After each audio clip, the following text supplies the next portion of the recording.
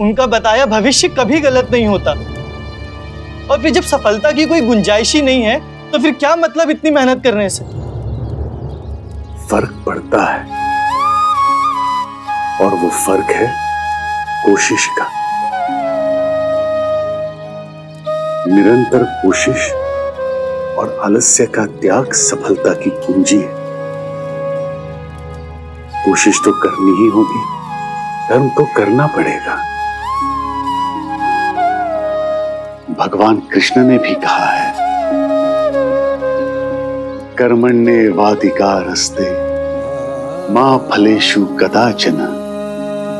माँ कर्म फल हेतुर्भु माते संगोस्तव कर्मणि। यानी, अपने धर्म का पालन करने के लिए कर्म करो। फल पर नज़र रखकर कर्म ना करो। क्योंकि फल पाना तुम्हारे हाथ में नहीं है। तुम्हारे अधिकार में तो केवल कर्म करना ही है, लेकिन अगर कर्म ही छोड़ दोगे तो सफलता कैसे मिलेगी?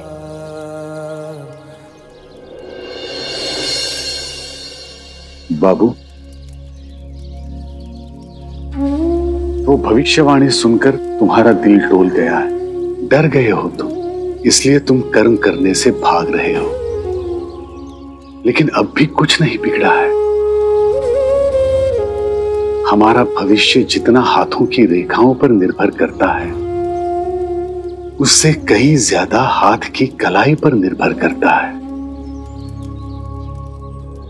निरंतर अभ्यास से हम ना सिर्फ़ अपने हाथ की रेखाओं को, बल्कि अपनी ज़िंदगी की दशा और दिशा को भी बदल सकते हैं।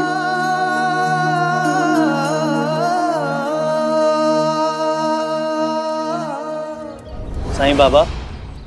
जिस तरह आप ज्ञानी हैं, आपने बिना मेरे बताए ही वजह जान ली। उसी तरह अभयंकर गुरुजी भी ज्ञानी हैं। उनका कहा हमेशा सच होता है, और इस बार भी होगा। ना ये मेरा डर है, ना कर्म से पलायन, बल्कि मैंने अपनी नियति स्वीकार ली है। मुझे तो यह परीक्षा की सारी गतिविधि ही क्लेशदायक लग रही है। मैं ये तो नहीं कह रहा कि मैं पढ़ाई छोड़ दूँगा। मैं सिर्फ़ ये कह रहा हूँ कि इस साल नहीं, अगली साल परीक्षा में बैठूँगा और सफल भी होऊँगा। ठीक है। छोड़ दो इस विषय को। फ़िलहाल एक काम करोगे मेरे लिए? बाहर धुनी के लिए कुछ लकड़ियाँ रखी हैं। उनमें से सबसे मोटी लकड़ी तुम्हें जो लगे उसे ले आओ।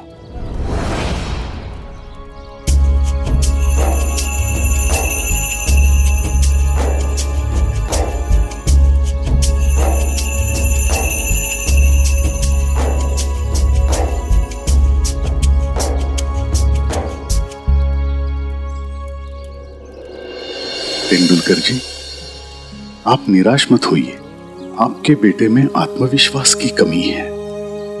वो बहुत जल्द डर जाता है। कोशिश छोड़ देता है।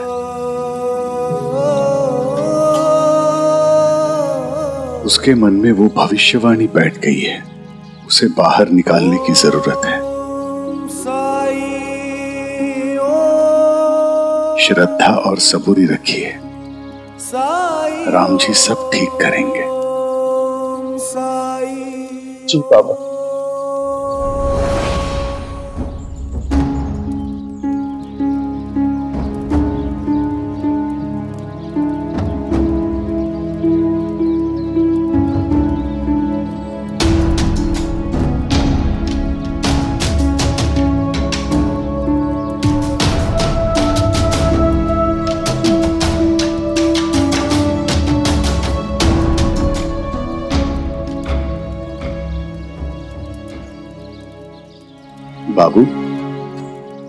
अगर इस लकड़ी से मुझे मूर्ति बनानी है तो क्या करना होगा?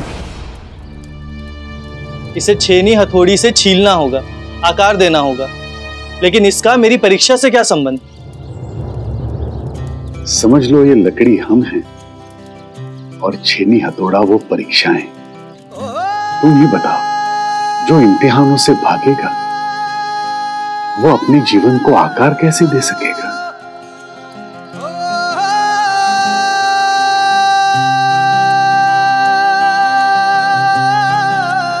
तुम परीक्षा दोगे बाबू। और तुम्हारा मन भी तुम्हारे इस फैसले में साथ देगा। और मैं तुम्हारा खोया हुआ आत्मविश्वास वापस पाने में तुम्हारी मदद करूँगा।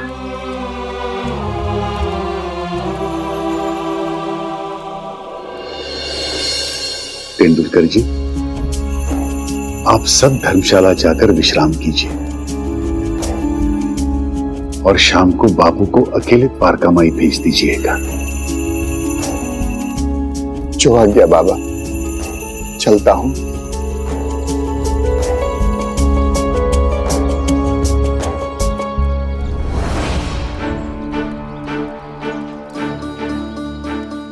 आप अपना समय बर्बाद कर रहे हैं। आप चाहे कुछ भी कर लीजिए, पर सच ये है कि मेरा सफल होना नामुमकिन। क्या मुमकिन?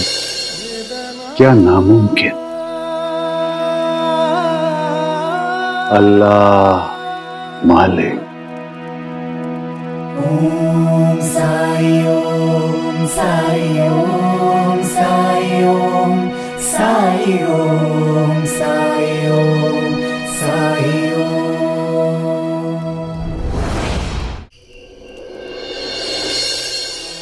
बाबा, हम सोच रहे थे कि फ़सल कटने के बाद हम अम्बा के घर जाएँ और भाऊजी को समझाएँ।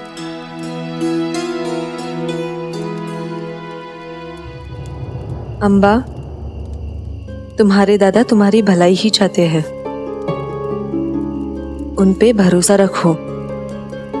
अगर वो हाथ पर हाथ धरे बैठे रहे तो अपने आप तो सब कुछ ठीक नहीं होने वाला। पहल तो हमें ही करनी होगी ना? हम्म? हौसला रख। जल्द ही सब कुछ ठीक हो जाएगा।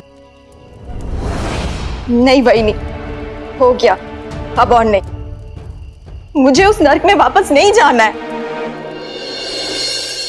अम्बा हम सब ऐसे ही थोड़ी तुझे वहाँ भेज देंगे। देखो जब तक उस नर्क को हम स्वर्ग नहीं बना देते जब तक श्रीरंग भाऊजी अपनी भूल स्वीकार कर अपने में बदलाव नहीं ले आते तुम यही रहोगी। और फिर हम सब भी तो यही चाहते हैं ना कि तुम्हारी भी गृहस्थी हम सब की तरह खुशहाल हो।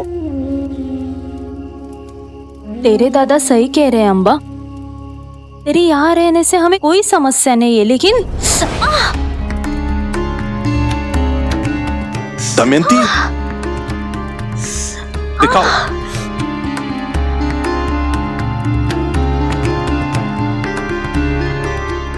आनंदी थोड़ा पानी दो तो। कितनी बार कहा है कि संभाल कर काम किया करो। ताई आप रहने दीजिए मैं बना लेती हूँ। पर तू अकेली कैसे? मैं कर लूँगी ताई आप जाइए। हाँ सुन भाई तुम उठो आनंदी बना लेगी।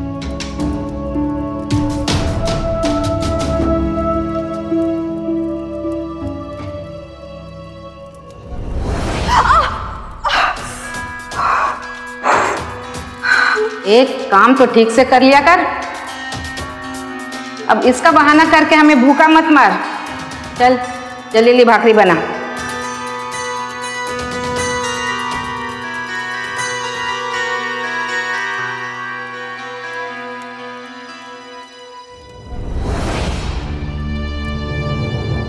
अम्बा खा।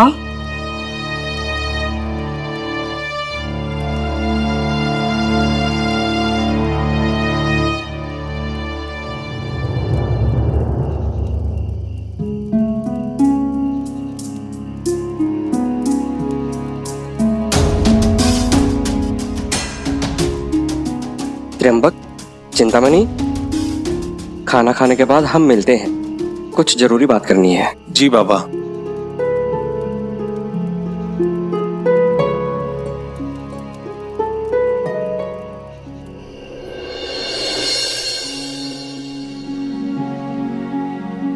तुम्हारी आई की इच्छा के मुताबिक सुनबाइयों के लिए ये हार लाया हूँ।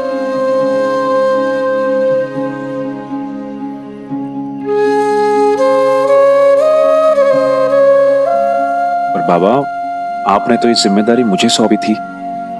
फिर आप ये क्यों? अम्बा के इस तरह वापस आने से किसी को अपनी सुध नहीं है। तुम्हें कहा ज़रूर था परंतु तुम भी दुखी थे। और ये हार लाना भी ज़रूरी था क्योंकि तुम्हारी आई का आदेश जो था इसलिए मैंने सोचा मैं खुद ही ले आता हूँ। आधी रात के बाद गुरु पुष्य का मुहूर्त शुरू होने वाला है। तब ये हार सुनवाइयों को दे देना। लेकिन बाबा अम्बा के साथ जो हुआ है उसके बाद ये अम्बा की चिंता मुझे भी है। बेटी है वो मेरी। उसके जज्बातों को अच्छी तरह से समझ सकता हूँ मैं, इसीलिए तो उसके सामने नहीं दिया। मगर मेरी बेटी की गृहस्थी में आज संकट है। इसलिए बहुओं के साथ अन्याय तो नहीं होने दे सकता।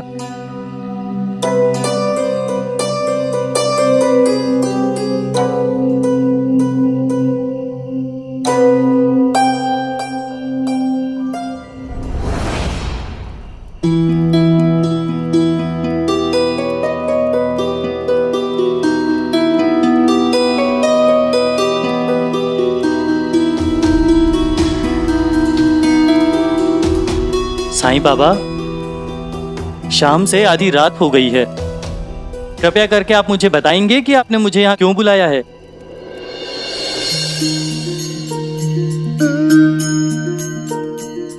अब बताने का समय आ गया है। तुम्हें एक छोटा सा काम करना है बाबू। क्या? मुझे तो लगा आपने मुझे यहाँ मेरी मदद करने के लिए बुलाया है। उल्टा आप मुझसे ही काम करवा रहे हैं। खैर ठीक है बताइए। काम मुश्किल नहीं है और इस काम से तुम्हारी मदद ही होगी। तुम्हारा डर चला जाएगा।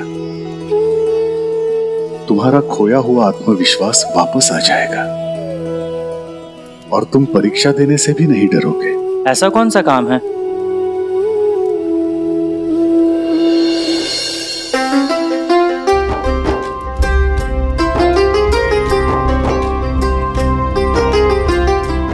ये सिक्का तुम्हें अभी जाकर खंडोबा जी के मंदिर में रखकर वापस आना होगा। अभी? हाँ। कोई परेशानी? साईं बाबा बाहर बहुत अंधेरा है। ऊपर से मैं शिरडी को अच्छे से जानता भी नहीं। कहीं भटक गया तो? धर्मशाला के पास ही है। और तुम्हें उधर का रास्ता तो पता है। फिर कैसे भटक जाओगे?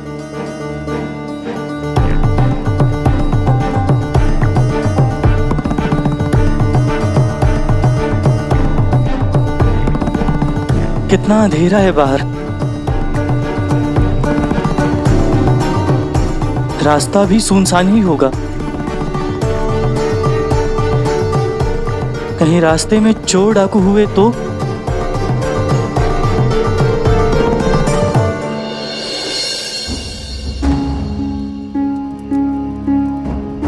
डरो मत बाबू, जाओ। ये सिक्का जैसे ही तुम रख कर आओगे तुम्हारा मन परीक्षा के लिए अपने आप तैयार हो जाएगा। बस एक बार कोशिश करो।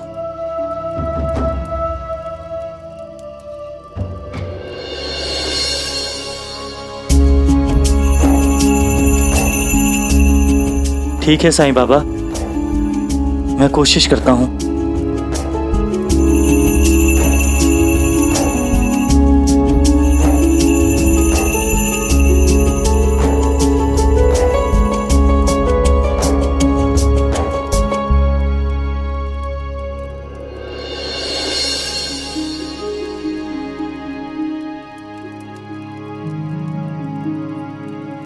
मन में साई के क्या है?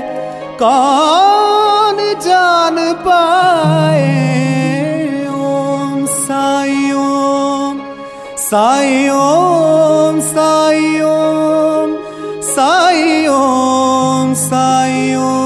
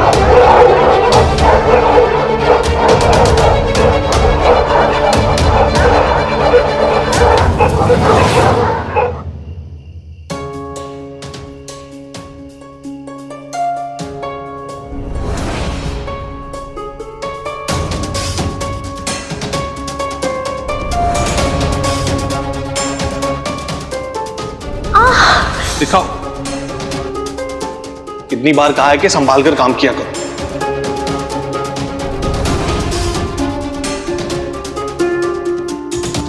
अब इसका बहाना करके हमें भूखा मत मार। चल जलेली भाकरी बना। आनंदी बहनी और दमयंती बहनी भी पराए घर से आई है। फिर भी उन्हें इस घर में भरपूर प्यार और सम्मान मिलता है। आई बाबा का स्नेह मिलता है। पति का प्रेम मिलता है। मेरे हिस्से में ऐसा क्यों नहीं? हर घर मेरे मायके जैसा क्यों नहीं होता? एक बेटी के रूप में जो प्यार मुझे मिला, बहू के रूप में क्यों नहीं मिला?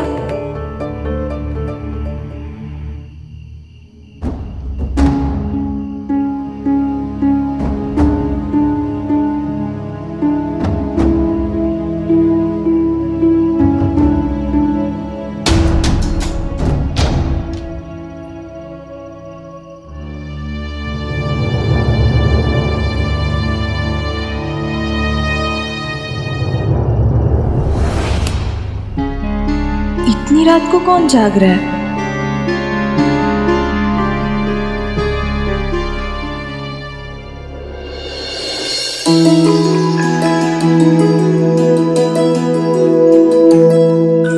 बाबा खुद जाकर ले आए हैं ये हार। सुंदर है ना? बहुत सुंदर है। लेकिन इसकी क्या ज़रूरत थी? ये सवाल तुम आई बाबा से पूछो तो बेहतर।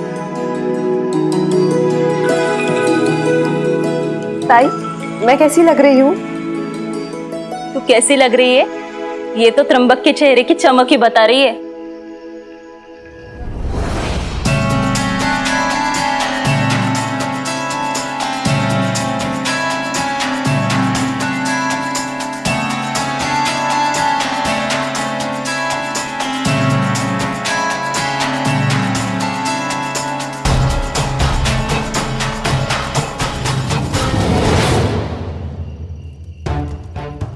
साईं बाबा? साईं बाबा, मुझसे नहीं हो पाएगा। मैंने कोशिश की जाने की, पर मुझसे नहीं हो पाया। इतनी रात वो अकेले जाना मेरे बस का नहीं। कोई बात नहीं बाबू। इस बार मैं तुम्हारे पीछे चलूँगा। तुम आगे आगे बढ़ना खंडोबा जी के मंदिर में जाना, और सिक्का रखकर वापस आ जाना। मैं तुम्हारे पीछे रहूँगा। लेकिन एक शर्त है मेरी। पीछे मुड़कर नहीं देखोगे तुम। आपको डर नहीं लगेगा? शिरडी घर है मेरा। और अपने घर में कोई डरता है? अब चलो।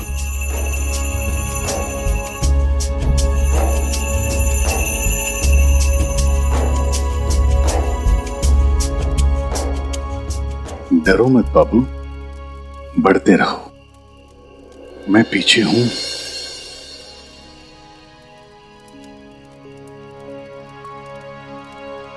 तेरी महिमा मेरे साई, कौन जान पाया? ओम साई ओम साई ओम साई ओम साई ओम साई, ओम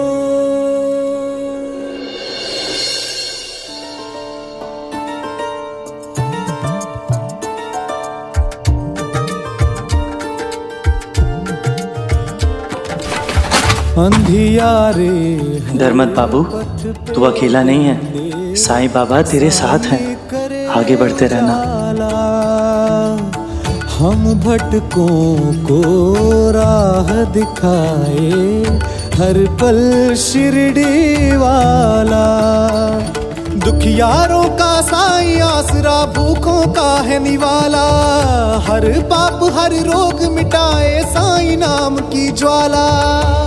विपदा के क्षण भजता है मन, साई बारंबार। बाबा का मेरे नाम जो स्मर ले, तर ले ये संसार। बाबा का मेरे नाम जो स्मर ले, तर ले ये संसार।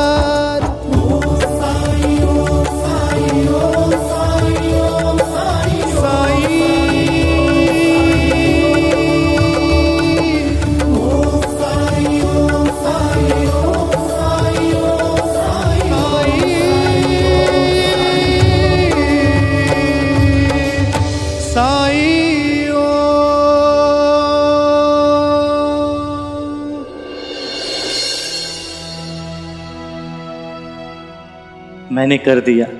अब अंदर चलकर साईं का इंतज़ार।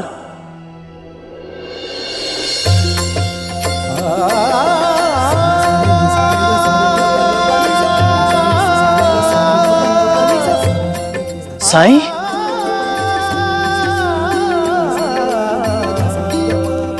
साईं, आप तो मेरे पीछे थे ना? फिर मुझसे पहले यहाँ कैसे आ गए? मैं तुम्हारे पीछे ही था बाबू। बस द्वारका माई के द्वार पर रुक गया था। लेकिन आपने तो कहा था। तुम्हें समझाना था। जब तुम्हें लगा था कि तुम अकेले हो तो डर के कारण भय के कारण अपना काम नहीं कर पाए। लेकिन जब तुम्हें लगा कि कोई साथ है तो तुमने काम पूरा कर लिया। हालाँकि अब भी तुमने अकेले ही किया है। अंतर सिर्फ़ इतना था कि तुम्हारा डर खत्म हो गया था। इसीलिए तुम कर पाए।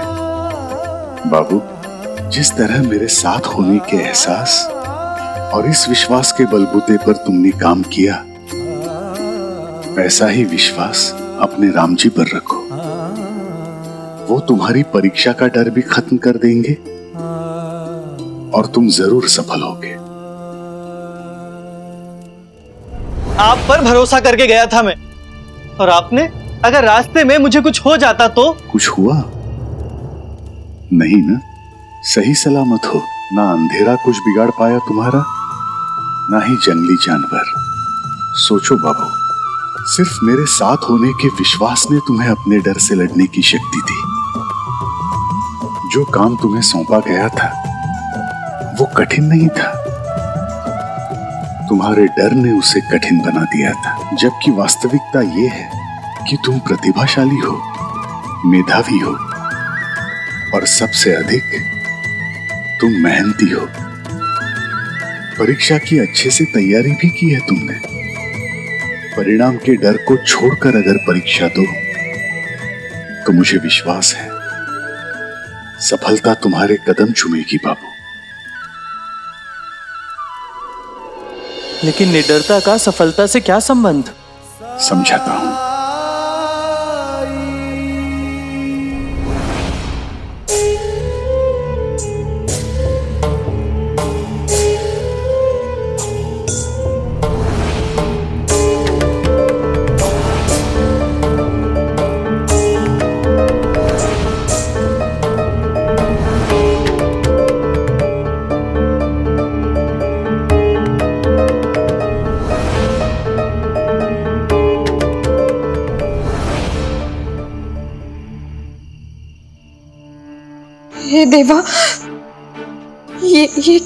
मुझे? क्या मुझे जलन हो रही है? ईर्ष्या हो रही है? वो भी अपने घर वालों से? नहीं।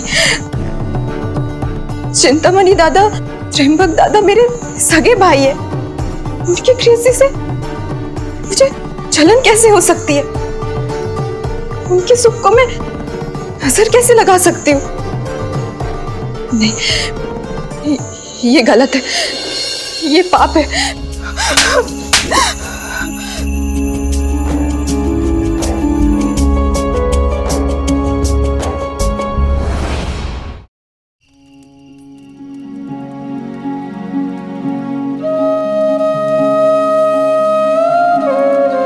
क्या तुम्हें इसमें आटा दिख रहा है?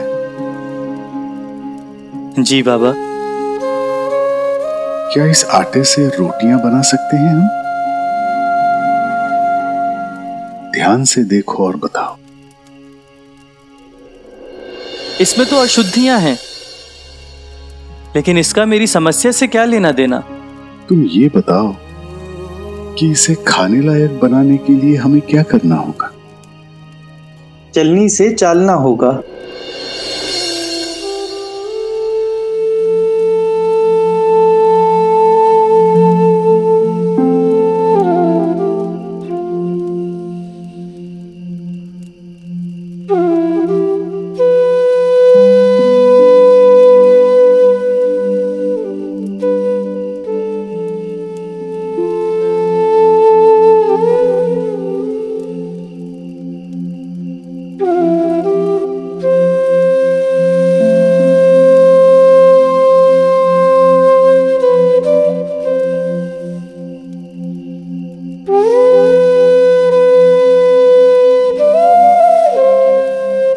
अब ये खाने लायक है?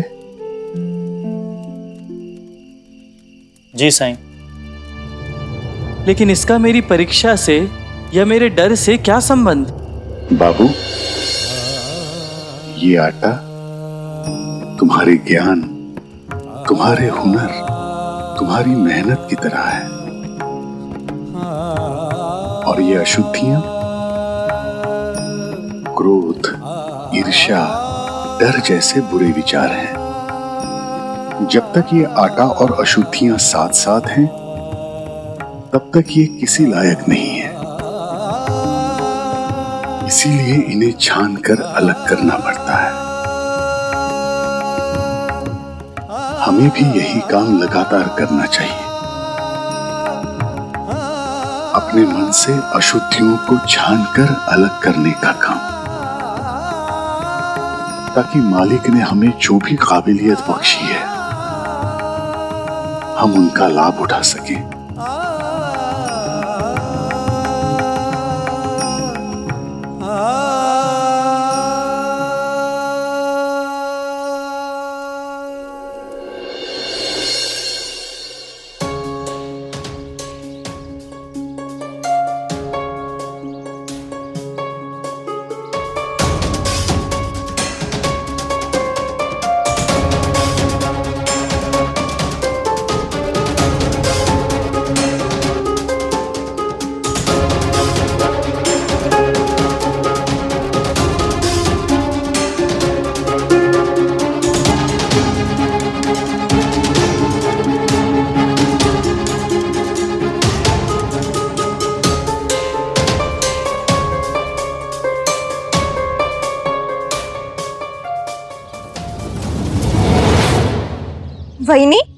चोट कैसे लगी? रोज की तरह फूल लेने गई थी मेरे लिए। पैर टूटी हुई टहनी पर पड़ गया। लकड़ी नोकीली थी पैर में घुस गई। कितनी दफ़ा इससे कहा है कि ये फूल वूल ज़रूरी नहीं है लेकिन ये है कि सुनती ही नहीं। खून बहुत बह रहा आनंदी। जल्दी से गरम हल्दी का लेप लगाना होगा इस चोट पर। वरना ये घाव जख्म बन जाएगा। आई मैं अब भी लेप बना के लाती हूँ। आई आई बहुत ठंडी लग रही है। जल्दी से तैयार कर दो ना। दमंती तुम बच्चों को तैयार कर दो। ले पंबा ले आएगी। वैसे भी आज रसोई भी तुम्हें ही बनानी होगी। आनंदी की जो हालत है वो आज कुछ नहीं कर पाएगी। हाँ अम्बा दादा बिल्कुल ठीक कह रहे हैं। एक अकेली दमयंती बहनी क्या क्या काम करेंगी? तुम वैसे भी खाली बैठी हो। अम्बा जाओ जल्दी से लेप लेकर आओ। चलो बच्चों। ऐसे कैसे दादा ने कह दिया कि खाली बैठी हूँ? बेटी मायके आके आराम नहीं करेगी तो कहाँ करेगी?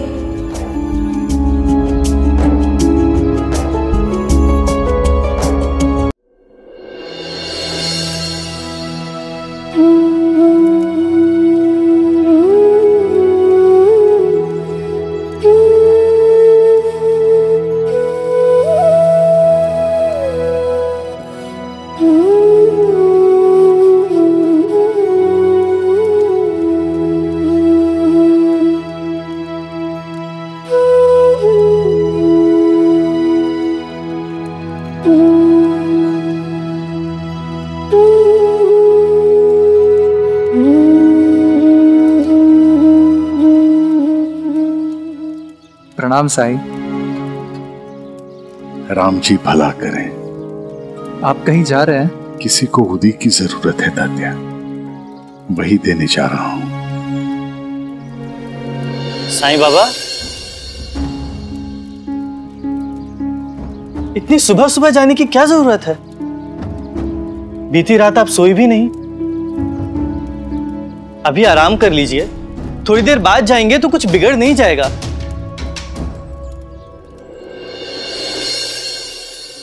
बाबू, दूसरों के दुख दर्द के आगे साई को अपनी सुध नहीं रहती है।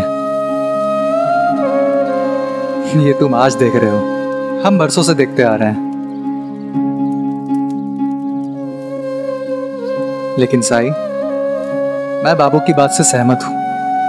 आप आराम करिए। मुदी जिसे भी देनी है, आप उसका नाम बता दीजिए। मैं दे आता हूँ। इंसान अपना अधिकार जताना तो जानता है पर अधिकार के साथ आने वाली ज़िम्मेदारी को उठाना नहीं चाहता। मतलब? बाबू मैं एक बैरागी हूँ।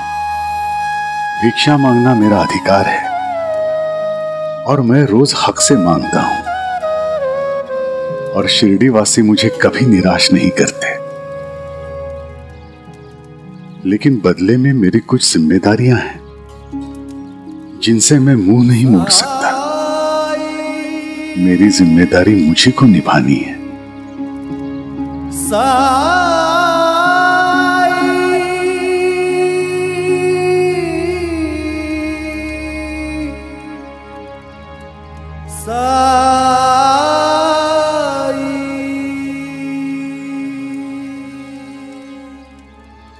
मुझे भी अपनी ज़िम्मेदारी निभानी होगी। मैं भी चलता हूँ। परीक्षा के लिए तैयार होना है।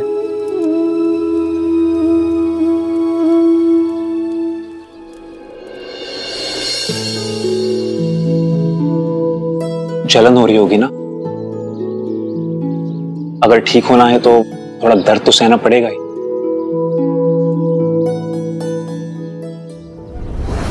बच्चों को तैयार कर दिया है मैंने। वो नाश्ता बनने में थोड़ी देर हो जाएगी। तुम आराम से अपना काम करो। एक दिन खेत देर से गया तो कुछ बिगड़ नहीं जाएगा। वो पानी भी खत्म हो गया है। कुएँ पर जाकर पानी भर के लाना होगा। रोज आनंदी पानी भर कर लाती है। लेकिन आज तो वो दमयंती तुम नाश्ते की तैयारी करो। पानी अम्बा ले आएगी। जी आई। लेकिन आई अगर मैं बाहर गई तो मुझे देख के लोग तरह तरह के बातें बनाएँगे। त्र्यंबक दादा है ना वो ले आएँगे। हम्बा आनंदी को ऐसी हालत में छोड़कर त्रियंबक कैसे जा पाएगा? बाबा हम सब यहाँ है ना? हम सबके होने और त्र्यंबक के होने में फ़र्क है अम्बा पति के साथ होने से पत्नी को जो सुकून मिलता है वो किसी और के साथ होने में थोड़ी ना मिलेगा।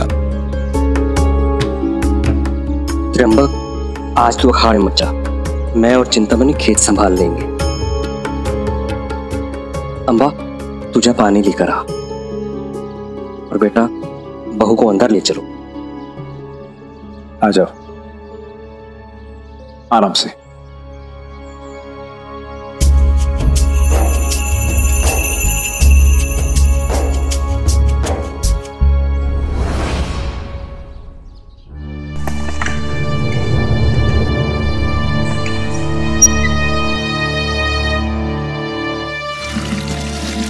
देखने में तो अच्छी भली दिखती है।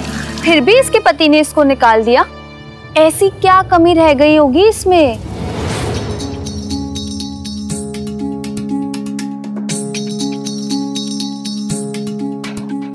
ये कुलकर्णी सरकार की बहू तो नहीं है?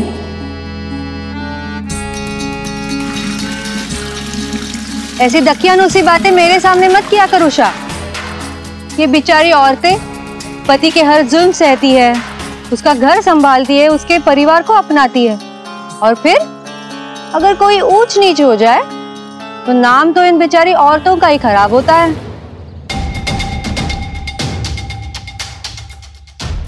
ये पहली औरत है, जिसने मुझे समझा है।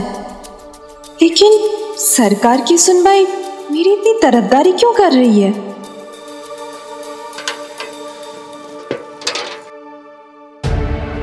मुझे पता है आप दोनों मेरे ही बारे में बात कर रही थी। और मछली ने चारा निगल लिया।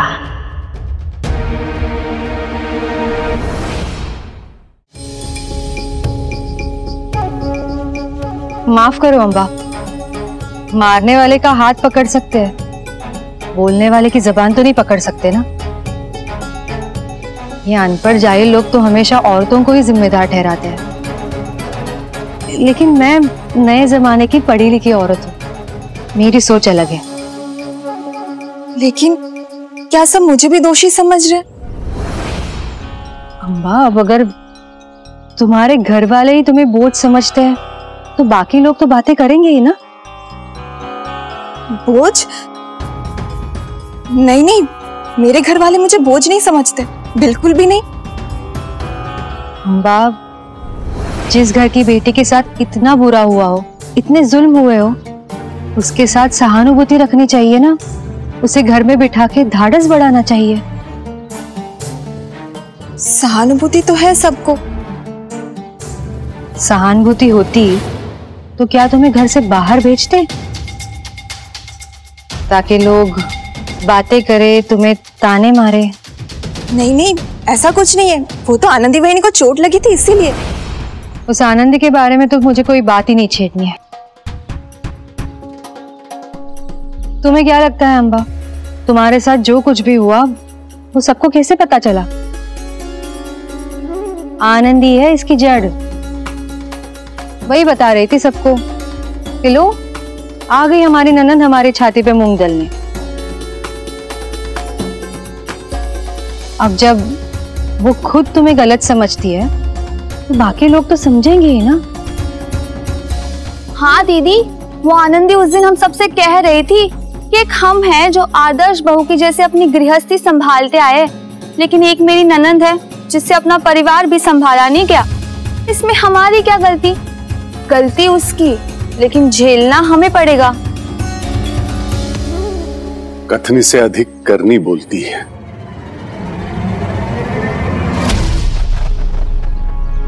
कैसी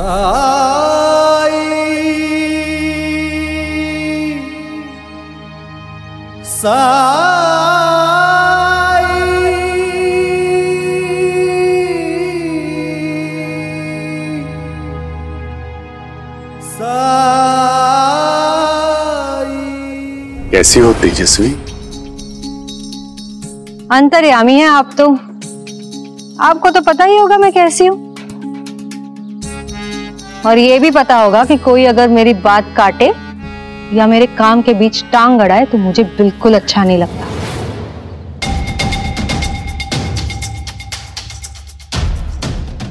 गोदावरी जी के घर से भिक्षा ली है मैंने। इसलिए मेरा फ़र्ज़ बनता है उनके घर के किसी भी सदस्य को राह भटकने से रोकना।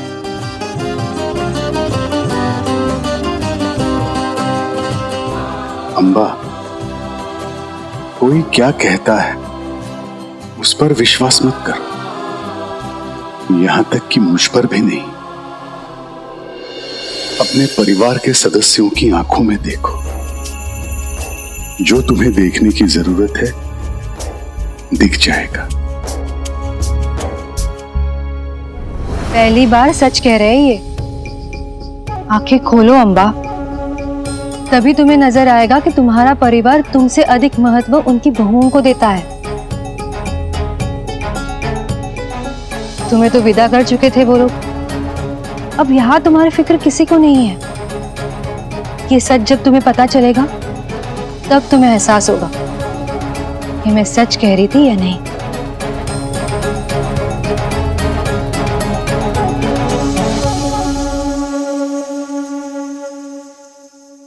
चलो उषा। अंबा,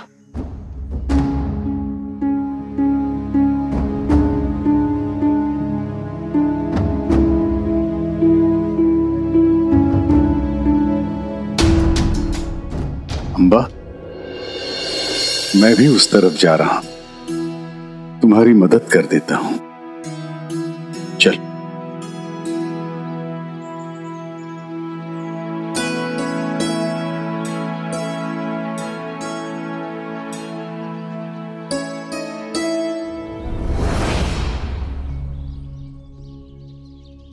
कुलकर्णी सरकार की बहू पर रत्ती भर भी यकीन नहीं है मुझे।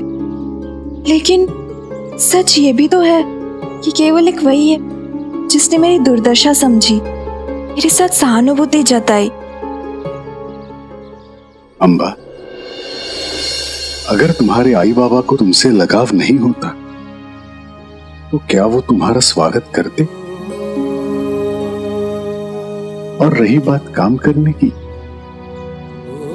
तो घर में जब चार लोग साथ रहते हैं, काम तो बांटते ही हैं और बांटना भी चाहिए। और अगर जाने अनजाने कोई कुछ कह दे तो उसे नजरअंदाज करना भी सीखना चाहिए। शायद आप ठीक कह रहे साई। दरअसल, हाल ही में मुझे इतनी यातनाएँ दी गई ससुराल में। इतना तनाव दिया गया कि छोटी छोटी बातें भी मुझे लग जाती है। और कोई जरा से भी सहानुभूति दिखा देना तो मैं तुरंत पिघल जाती हूँ। जागरूक रहो अंबा। विचार आएँगे। आने तो। लेकिन जिन विचारों से मन में मैल जमे, उन्हें त्यागना भी सीखो।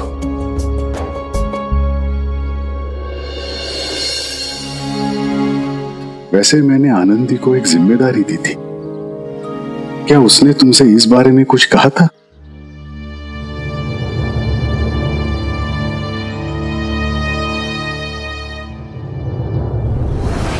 अम्बा सुनो।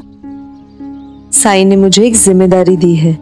जब मैं पानी भरने जाती हूँ, तब मैं वो ज़िम्मेदारी पूरी करती हूँ। लेकिन आज मैं नहीं जा पाऊँगी। तो तुम मेरे लिए वो काम कर दोगी? क्या काम? उस मटके में औषधि रखी है। उसे चीकू के बाग के पास वाले तालाब में डाल देना। शुक्रिया। एक काम खत्म होने से पहले दूसरा काम पकड़ा देते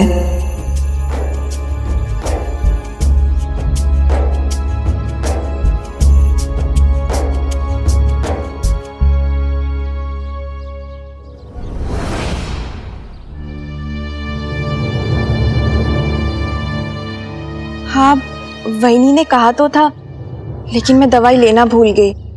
कोई बात नहीं। मैं तुम्हें अभी दवाई दे देता हूँ। तुम पानी में उतरकर उसे डाल देना।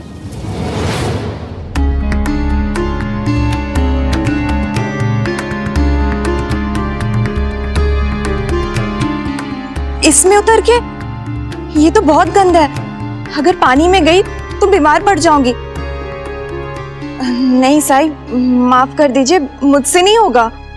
लेकिन आनंदी ने क्रम न टूटने का वादा किया था। मुझे पहली बहुत देर हो चुकी है पानी लेके जाने में। न- दमयंती वहीनी को नाश्ता बनाना है। वो मेरी राह देख रही होंगी। कल आनंदी वहीनी आके डाल देंगी। मैं भी चलती हूँ। अम्बा जब तक अपने हाथों से गंदगी दूर करने का जज्बा नहीं रखोगी घर कभी साफ़ नहीं होगा। मैं कुछ समझी नहीं साई एक दिन समझ जाओगे। फ़िलहाल मेरा एक दूसरा काम है, जिसमें तुम्हें परेशानी नहीं होगी।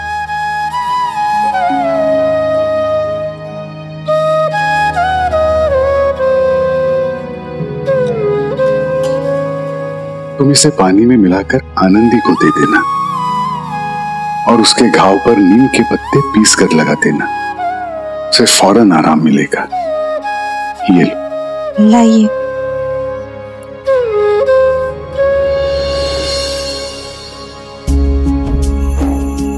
मैं चलती हूँ।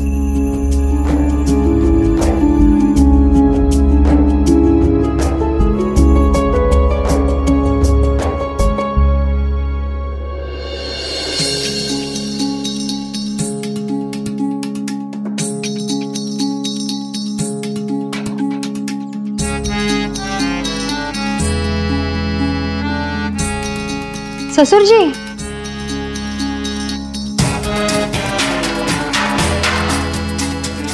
आप तो उड़ती चिड़िया के पर गिनने का दावा करते थे। मेरे चेहरे की इस मुस्कान से कैसे नहीं समझे?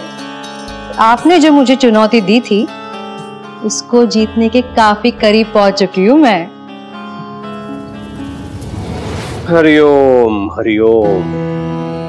अधजल गगरी छलकत जाए। बहू। केवल बीज बोने से कुछ नहीं होता। बीज बोए, फिर फ़सल आए, उसकी कटाई हो, तब आदमी को जश्न मनाना चाहिए। समझी? क्या लगता है तुम्हें कि वो फकीर तुम्हें जीतने देगा? हाँ सरकार सही कह रहे हैं। अरे उस फकीर ने तो आज तक सरकार को नहीं जीतने दिया, फिर आप किस खेत की मोली हैं? क्यों सरकार?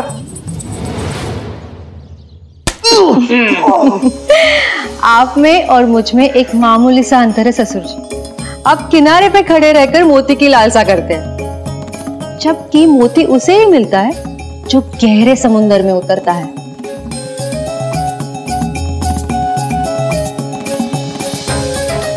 अब साहिल पे रहने वालों को तो समुंदर का कूड़ा करकट ही मिलेगा ना?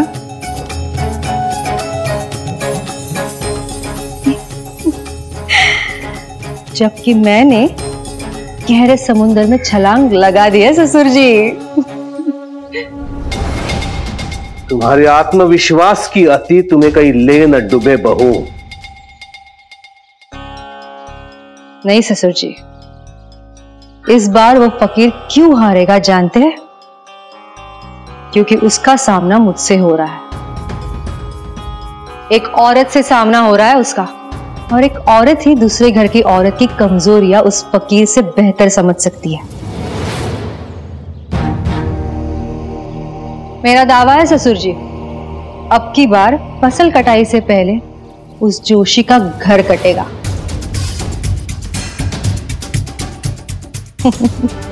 हाँ अब उन्हें फ़सल से मुनाफा तो ज़रूर मिलेगा।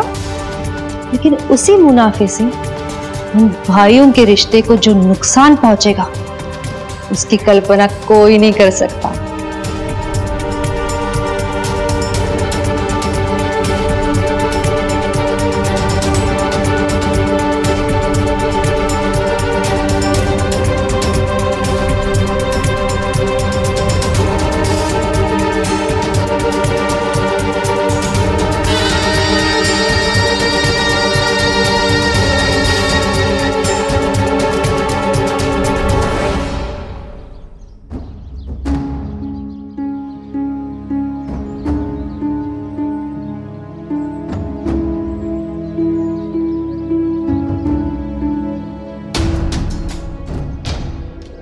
साईं बाबा।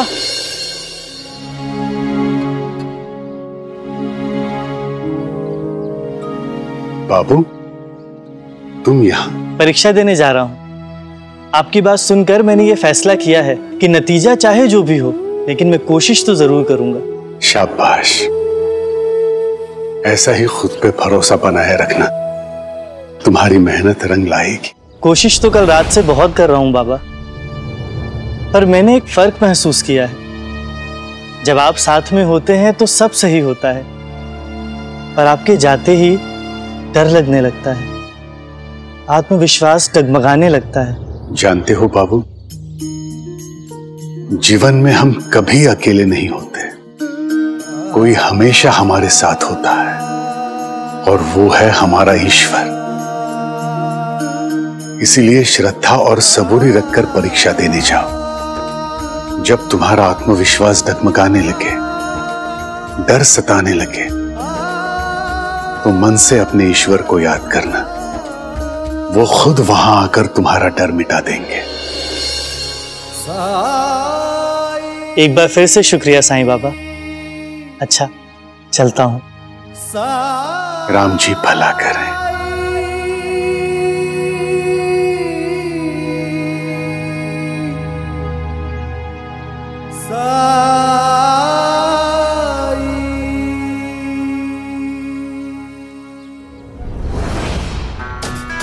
तुम्हारे साथ जो कुछ भी हुआ वो सबको कैसे पता चला?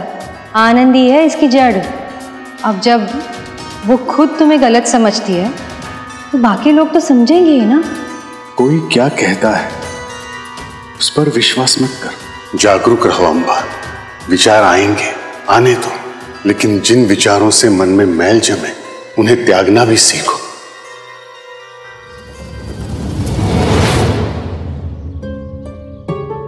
अभी भी जलन हो रही है? नहीं।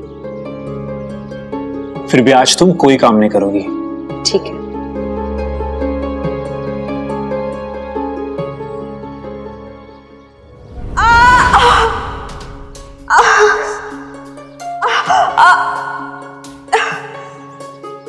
क्या हुआ? क्यों चिल्ला रही हो? वो वो मैं ऊपर से पस्ता निकाल रही थी तो गिर गई। लगता है पैर में चोट लग गई है।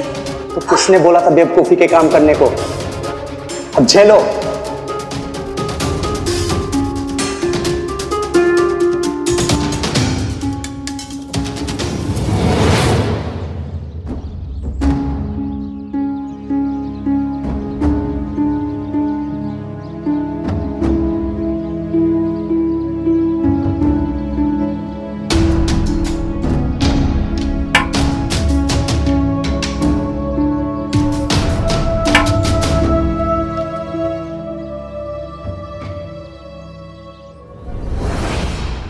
दादा साई ने ये उदी दिए पानी में घोल के वहीनी को देने के लिए कहा है। ठीक है लाओ।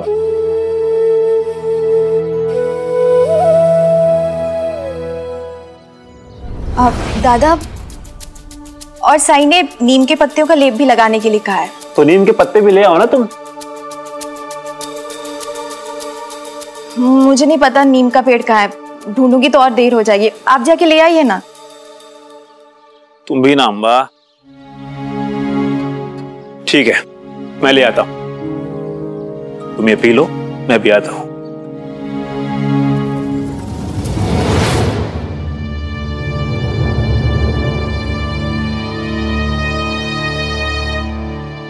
अम्बा इसे रसोई में रख दोगी?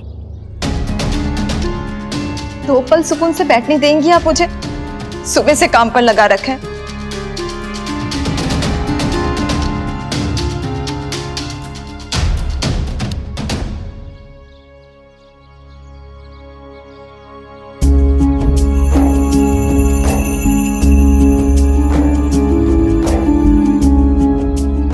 मैंने कुछ गलत कह दिया क्या ताई?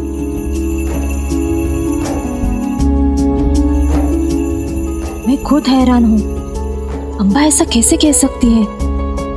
पता नहीं क्या चल रहा है उसके मन में।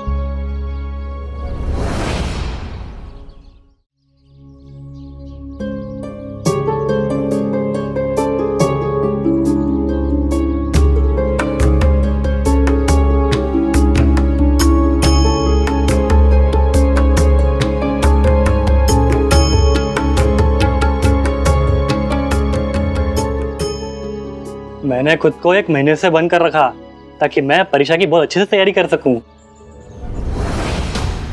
लगता है इन सबने अच्छी तैयारी की है पता नहीं मेरा क्या होगा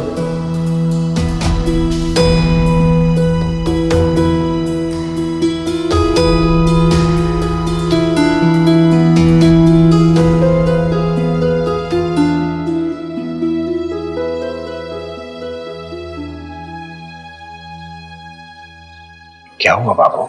डर लग रहा है बाबा। साईं बाबा ने कहा था डरना मत। ईश्वर पे भरोसा करना लेकिन बाबा कहना आसान होता है। जिस पर बीतती है वो जानता है। याद करो उस रात उन्होंने तुम्हें खंडोबा मंदिर भेजा था। तब भी कहा था ना कि डरने की कोई बात नहीं है। और सच में तुम्हारे साथ कुछ नहीं हुआ था। बाबा उस रात मेरी किस्मत अच्छी थी। लेकिन ये परीक्षा है। इसमें प्रश्न पत्र आते हैं जिनका जवाब लिखना होता है और उसके लिए पढ़ाई करनी पड़ती है। बाबा इस परीक्षा में अच्छे अच्छे विद्यार्थी तैयारी करके भी असफल हो जाते हैं। सारे परीक्षार्थी अंदर आ जाइए। परीक्षा का समय हो गया।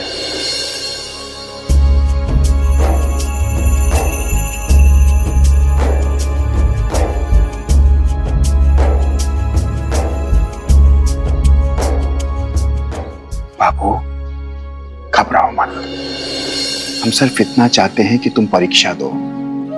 परिणाम की चिंता मत करो। परिणाम कुछ भी हो अच्छा या बुरा, तुम पर कोई दबाव नहीं है। हम हमेशा तुम्हारे साथ हैं। तुम्हारे वश में केवल प्रयास करना है और वो पूरे मन से करो। बेटा एक बात याद रखना। साईं बाबा कभी किसी को झूठी उम्मीद नहीं देते, कभी किसी को गलत मार्ग नहीं दिखाते। उनका कहा कभी गलत नहीं होता। इसलिए तुमने जो परिश्रम किया है जो मेहनत की है, उस पर विश्वास रखो और साईं बाबा पर भी सब अच्छा ही होगा। जाओ।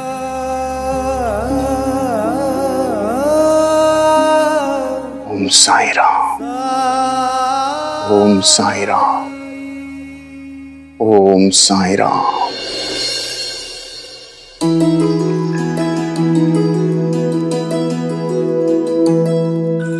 प्रणाम साई।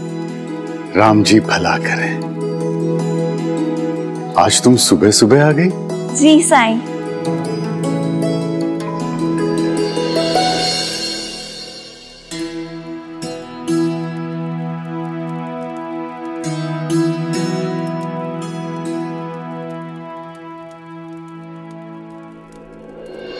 रंभा? जी साईं।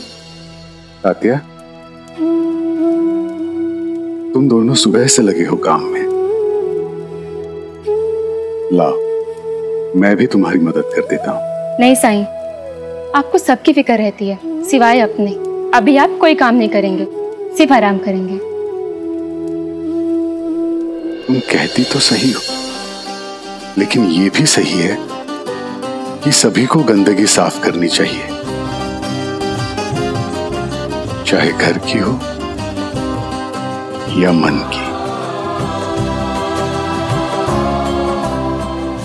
दो मुझे दो चार ठीक है सर। मैं पानी ले आती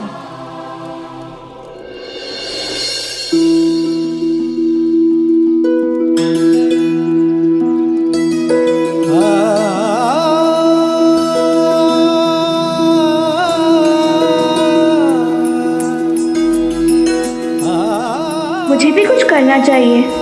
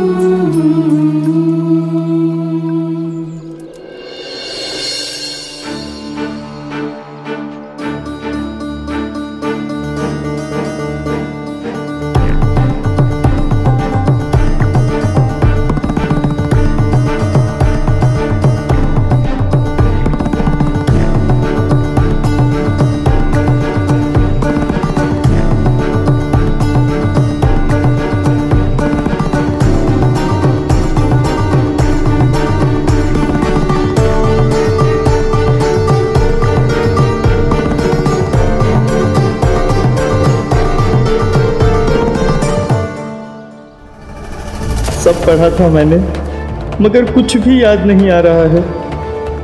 साईं के इतना सब कुछ करने के बाद भी ऐसा कैसे हो सकता है? कहीं अभियंकर गुरुजी की भविष्यवाणी सच साबित तो नहीं हो रही? हे भगवान, अब मैं क्या करूँ? साईं, मेरी मदद करिए साईं।